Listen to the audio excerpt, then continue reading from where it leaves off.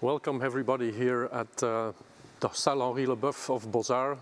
We are here, you are not. The second time that we organize Europe Day here in Brussels and the second time we have to miss you all.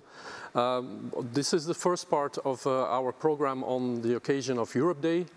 Um, and the first part is also the dearest for me, is the presentation of the Mayday magazine, the second edition. We made one last year. We had to make one because we had to cancel all our events due to the pandemic. This year we didn't have to make a magazine, but we wanted to do it because we liked it so much last time. And uh, we, are, we asked the same partners as last year, the people from Are We Europe, and our partners Bertelsmann Foundation and Evens Foundation to join forces and make uh, a magazine. And I present to you today uh, Teresa O'Connell, who's the editor-in-chief uh, of this uh, edition, and Hannah Torsicki, who is the phot photography editor. We will talk uh, about the magazine.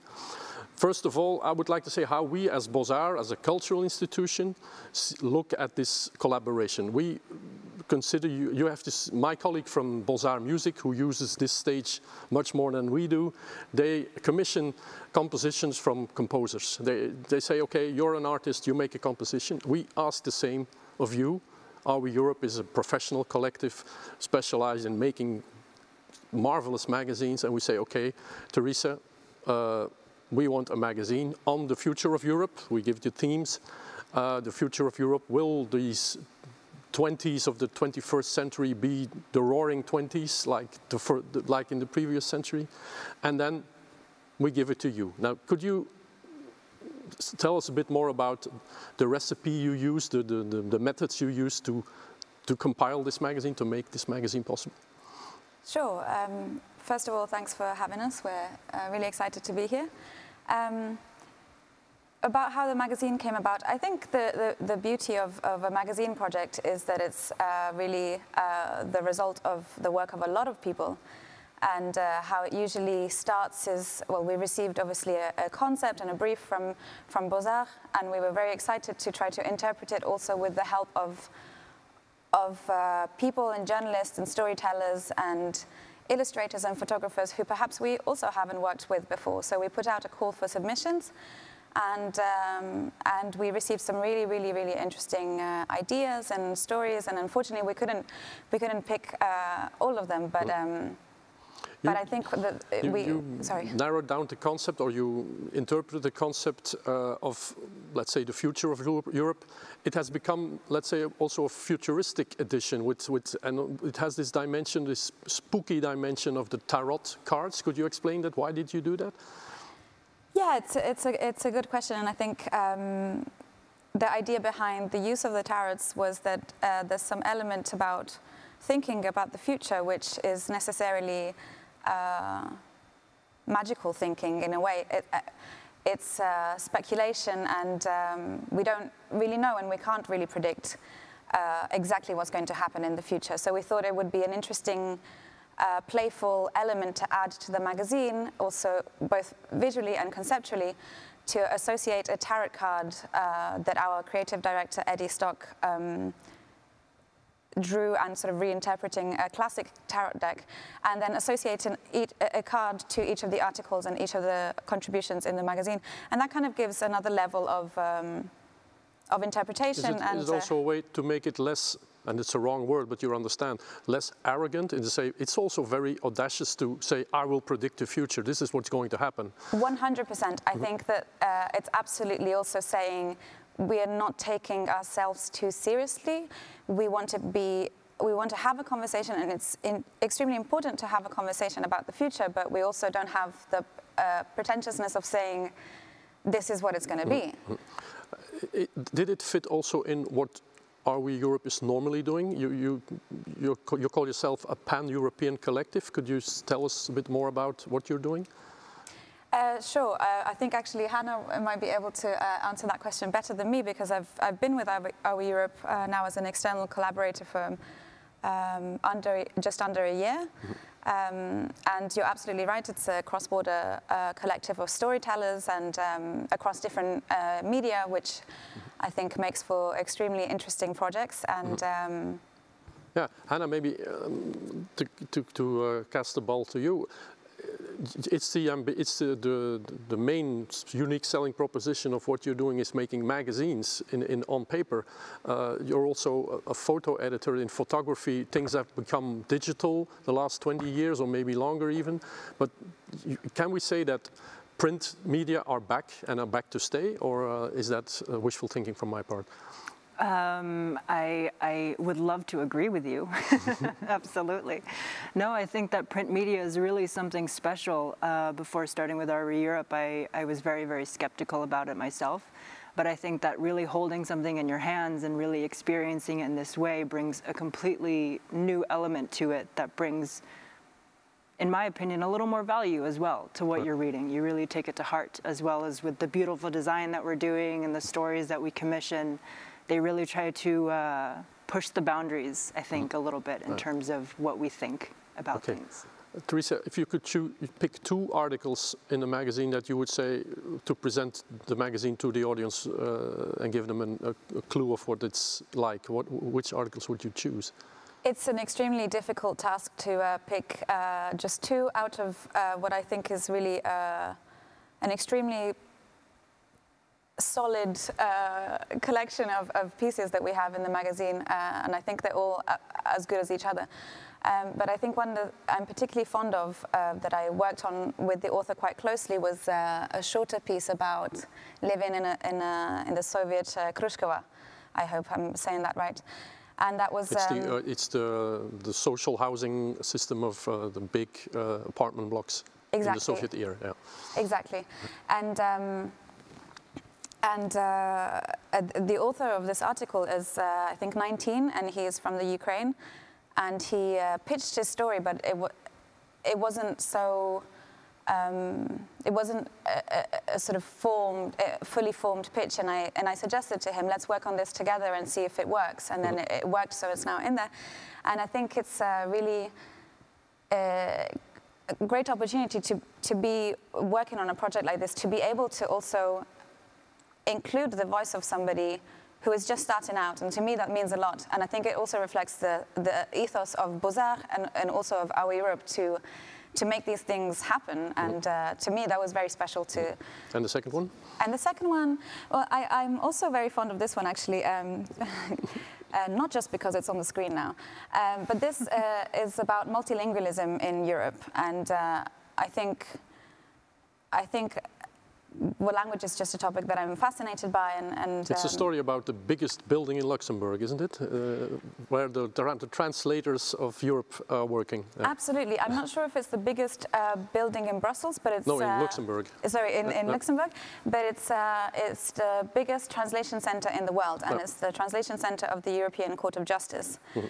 and uh, and the author kind of uses that. Um, model of, of, of communication uh, and translation and, and, interpretation between different languages as perhaps he suggested it could, it could be a, a blueprint for other, uh, other fields. It's a bit the question, do we need one language in Europe to unify or can we, is it just the, the, the value of Europe or the, the surplus of Europe that we, everybody can speak his own language? That's a bit uh, the question. Uh, I think that's absolutely fascinating because at the same, we, we you know, we're, we're still very much caught up in this in this um, struggle or, or, or, kind of, uh, I don't want to say it's a conflict, but anyway, we have this identity as, as European, or many of us identify as Europeans, and then at the same time we also identify, mm -hmm. or at least partly so, as in my case, Italian, British, Irish, um, and uh, uh, yeah.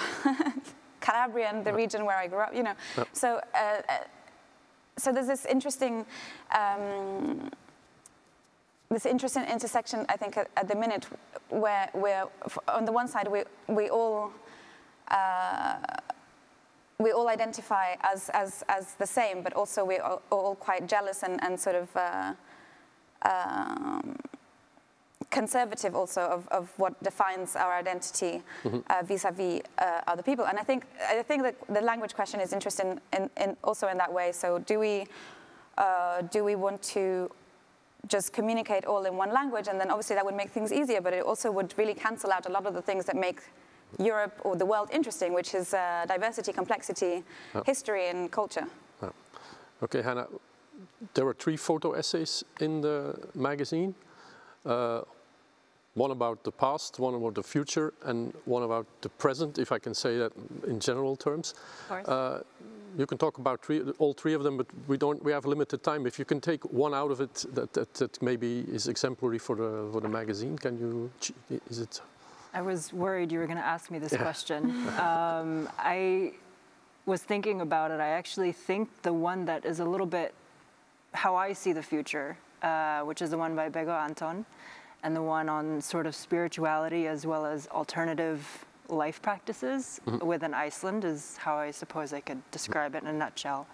And I think it's nice because a lot of people see this, uh, see people practicing things differently in life as um, strange or otherworldly, mm-hmm. when in reality, you know, these people are very, very tied to nature, and this is just. In Iceland, they don't throw rocks in the sky. That's you, can you explain? It's about it's it's it's a wonderful yes, story. I don't remember where this quote exactly was from, but it's this uh, idea that um, there's sort of mystical creatures and things living Floating within the, the, nature. Yeah. yeah. So of course, if you throw something, you might hurt someone. Um, you need to be considerate, of course, of your surroundings, and I think that's a very nice mentality to bring forward when looking at the future of Europe. Okay. Uh, I would, uh, we will continue our talk uh, with some of the, one of the journalists who, who collaborated at the, on the magazine. Um, because, and maybe that's give me the opportunity to talk about uh, the diversity of the of the magazine. We have um, uh, journalistic stories, we have essays, we but we also have photos, and we have uh, a graphic story, which is what I'm hinting at now. And we also have poetry in the magazine. So um, Teresa Hannah would like to talk to thank you very much for being here and uh, stay stay here to listen to uh, Karolina Szedja, who is our graphic reporter. So graphic reporting, uh, ladies and gentlemen, is something that we uh, cherish uh, it in Mayday magazine in our first edition.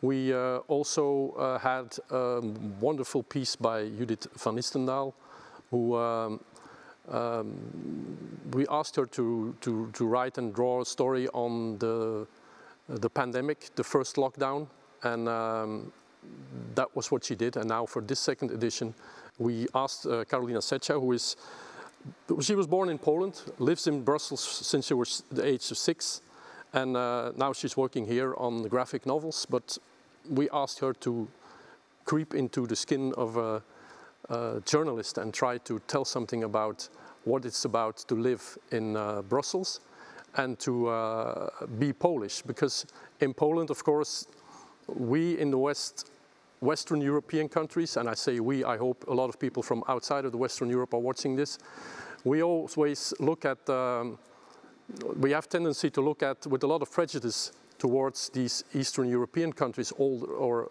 uh, and it's, uh, Karolina was well placed to talk about her position as with the Polish roots here in the capital of, uh, of uh, the European Union in Brussels and how it is to live here and be here uh, together.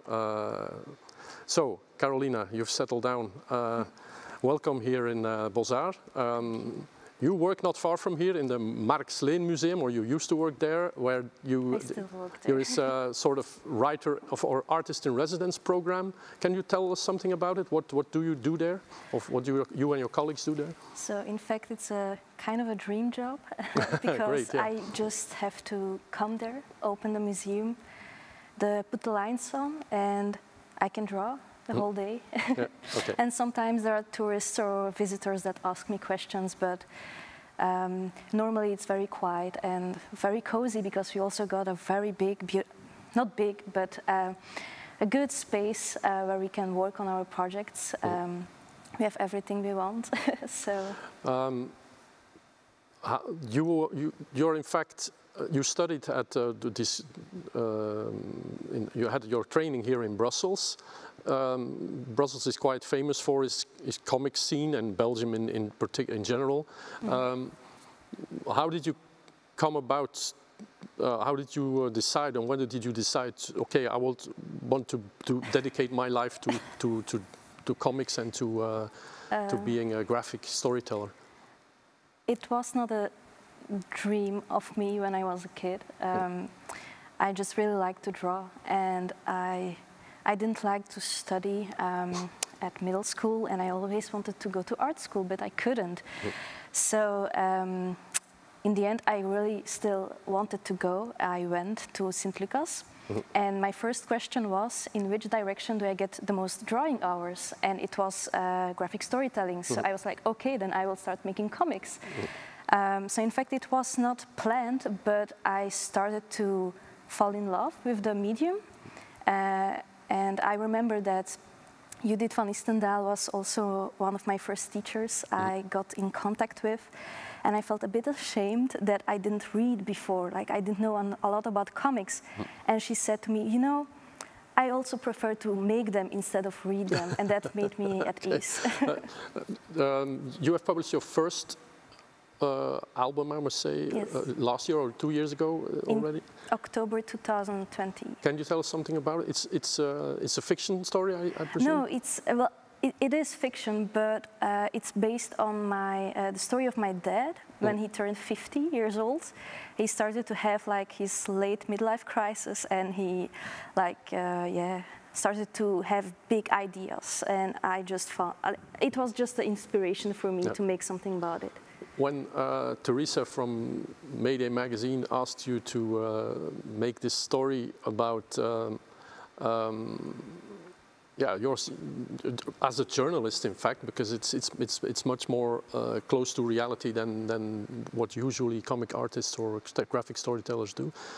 Did you feel comfortable with that? Uh, because journalists journalists don't invent stuff; they Yeah. just write or draw what they see and hear. Yeah, I, I was really. Um, I would not say I felt uncomfortable, but I, I wasn't sure if I could do that. Like if, if what I would tell would con- be considered as a journalism, because I'm, like I said, with my story of my dad, uh, it's something personal that happened. I- it's real, but you place the things on, like in the other.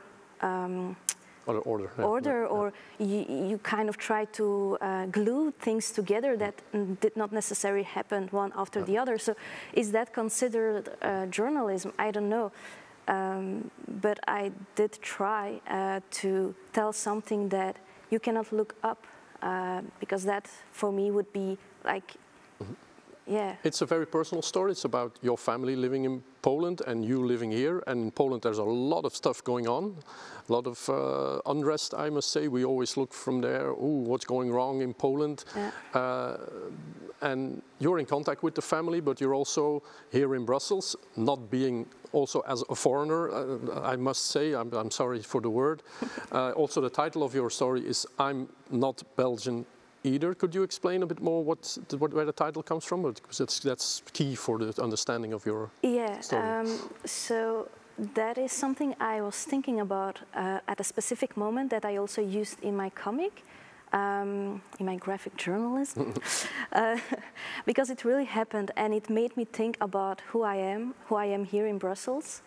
And I think a lot of people that also um, moved to another country have the same thought like, am I from here or am I from there? And um, I was at the tram station and um, somebody passed uh, before me, and it was a black guy. Um, and he like pushed another person, and that person get, got mad and he was like, "Oh, all those." Um, Foreigners. foreigners, they should go back to their own country. And he looked at me with a smile, like he was looking for confirmation from another Belgian person, but I'm not Belgian either, and that's how the title came. Uh, I felt very uncomfortable, uh, like I, like this is not my home. Uh, You're, you're a privi- privileged witness to, to tell us something about Poland. Um, how, how do you uh, consider the situation in Poland now uh, for ordinary people, for people our your age, but not, not from the big political point yeah. of view, but we have the impression if we read the papers, and there's not a lot about Poland in our papers because we're all centered on our own country, mm -hmm. uh, but we always read things about discrimination, about racism, anti-Semitism, uh, anti-democratic measures. Mm -hmm. But um, how, do you, do you, how does your family experience what's going on there? Yeah, so you would think uh, from an outsider perspective that Poland is still very conservative and very um, old-fashioned and very religious. And that is true, but I think people would be shocked to know how little, like that group of those conservative people that got little, and it's getting even smaller because so the majority of Poland is much more yeah they are open and yep. I have my um, my family there that I they go to all the protests and they really want to see um, Poland become more uh, European minded um, but yeah do you feel uncomfortable when people in Brussels or people who don't who are not from Poland are criticizing your homeland your mother country uh, to be honest I don't get in contact with those kind of people. So I'm, I think I'm lucky. I'm surrounded by good people. Okay. Uh, just a final question. What are you working on now? Uh, what can we expect from you in the future? Um, so I'm doing two projects. Um, the, uh, at the Marc Sleen Museum, I'm working on my second graphic novel, and it will be about my grandmother that is Polish, and I would like to show the three um, generations, like the my like I live here with my mom and my grandmother. She is not very integrated in Belgium. My mother is between the two, and I. She lives here. She lives yeah, she lives here, and I'm the most integrated person. And I thought that that perspective would be interesting to show to like the outsider, like how is it to live um, with those three ge generations. Um, and the second project I'm working on uh, is a child, uh, children's book uh, about diversity, uh, and it's from the project of Sesam, Studio Sesam uh, in Antwerp. Okay. Karolina, thank you very much. I enjoyed your work uh, tremendously and I hope to see and read much more from you uh, in the future. Thank you. So uh, we come at the closing of this first uh, part of the program of uh, Europe Day. I'll just have to give the practical details. Mayday magazine, uh, you can order it on our website uh, so www.bozar.be, but also on the website of uh, Are We Europe please uh, get your copy because they will uh, not be available for a long time. It will be a collector's item before they're even published. Thank you very much.